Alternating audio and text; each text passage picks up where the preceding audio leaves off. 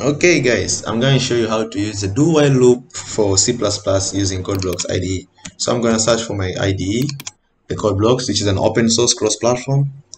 I'm using 20.03. Okay, so I'll create a new project by creating a new file. So I'll go new and file.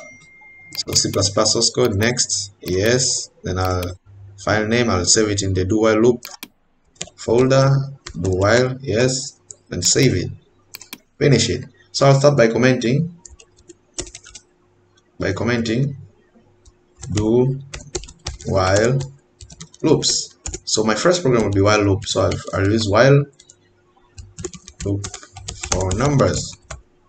Then I'll start my programming now. Include iostream.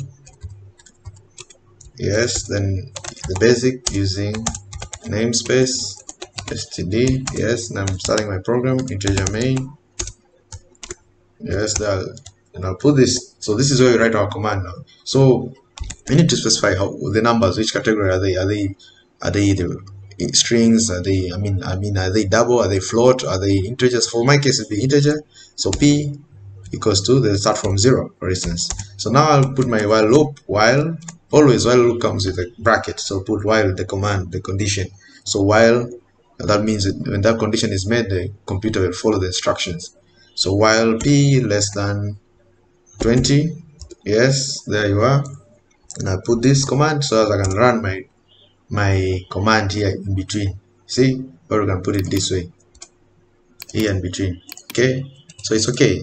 So you can put it anyway so this is where I put my command. So while p less than 20 so the computer should should print that number p. Okay then I'll end line. So that's giving more space. Then I'll instruct now the computer to print the numbers in sequential. That means by following up number digit by digit. So what I'm gonna do is I put pre plus plus. Then I close this. So that means this is my while loop here in between starting from this bracket. So that means here this is the command for while loop. Then after finishing the command the computer should return zero as usual business so that, that means here we'll print numbers less than 20 that means from 0 1 2 3 until 19 so let us build to see if there's no errors. Wow very good. So I'll run it. Okay so 0 to 19 this is it. So you can also try to put it from can start from 2 let us try to build it first. Okay make sure no errors then run. So the numbers will start from 2 3 4 5 6 and 19 so this is the way of doing it. So this is the way of printing i mean while loop so let us try to use do while in combination and see how this thing works. So let me try to copy this code for reference just in case I'm using a notepad here so you shouldn't worry. File new here. So this is the while loop. So let us go for another one. So I'll delete I'll delete here everything. This is where our main function comes in. So I'll start now the do command. So the do command starts with do then you put these brackets the curly brackets. That means that's where you put all your you're commanding to the computer. So let me put enter. So it, so you instruct the computer to do something while you're expecting to print something. So it will check the command to see if the instructions are met then it will print. So it'll start. So you should do what should it do? You should you should print for instance p the number. Okay then end line as usual end line. Yeah, this one here. So after doing that so that means you instruct also the same p. Should add but that's the do. So the do it will look at this. It will print p but why should it print p? While the command so i'm combining now the while command here. So this is the do. The do contains i just wrote two lines of code. That means it will you need the, the computer to output p end line and p plus plus. That means it goes from 0 1 2 3 4 so it depends.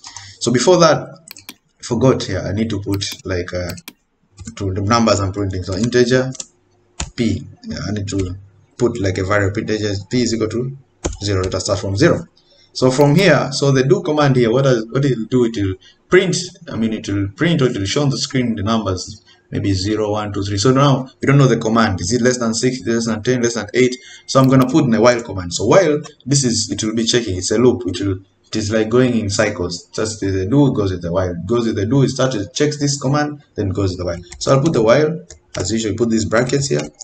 While p less than 15 okay okay so while p is less than 15 here that means we're done here let us return zero. So what you do that means it will check this first printing p but it won't print until while the condition is met. So if it's less than 15 it will print 1 print 0 1 2 until 15 until 14 so if it's 15 it won't print. It will stop there. So this is it. So loop is like a cycle. It's forming a cycle. It goes it checks around and moves in. So let us try to run this. Let us build and see what we have. Oh, I didn't kill one command. Okay let me kill it first. Okay. So let us try to build expected before return. Wow. Yes. There's something I missed out here. This one. Okay. So you shouldn't worry. So let us try to build. Let's make sure there's no error. Zero errors.